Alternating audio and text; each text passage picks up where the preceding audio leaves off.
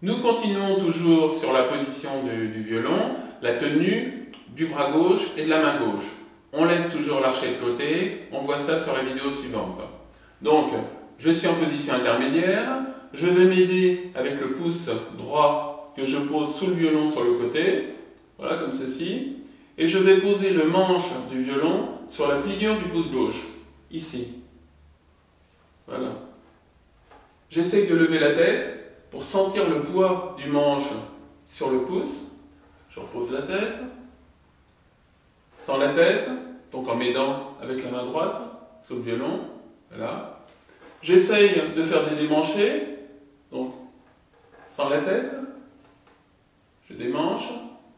Je monte ma main sur le manche en essayant de sentir le poids du manche sur le pouce avec la tête.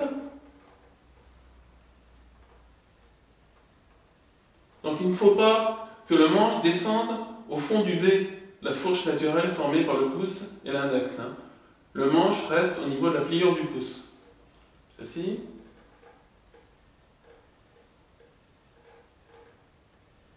Maintenant, je vais rapprocher la base de l'index du manche pour, faire, pour utiliser la fourche naturelle formée par le pouce et l'index. Donc, toujours sans serrer ici. Le manche va, va venir ici, mais sans serrer le moins possible. Voilà. Je refais le même exercice. Donc, sans la tête. Voilà, je démanche. Avec la tête.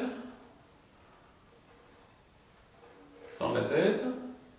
Donc, en ne serrant pas le moins possible. Avec la tête. Maintenant, la position du bras. Je laisse tomber mon bras, voilà, complètement relâché. Je remonte avec la main dans le prolongement de l'avant-bras, hein, tout simplement, voilà. Je place le violon.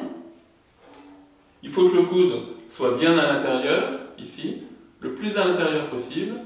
Bon, il faut y aller euh, doucement parce qu'au début, quand vous n'avez pas l'habitude, ça fait un peu mal. Hein. Donc forcez pas trop, vous irez progressivement au fil de votre apprentissage. Voilà. Avec la main dans le prolongement de l'avant-bras. Les doigts sont bien au-dessus des cordes. Et chose très importante, vous le verrez sur le livre, euh, sur, il y a une photo, un gros plan, il ne faut pas que, la, les premières et deuxième phalanges sur la main gauche se touchent. Hein, on le voit bien sur les livres, entre les deuxième et troisième doigts, la pulpe des deux doigts se touche, mais les, les phalanges sont décollées.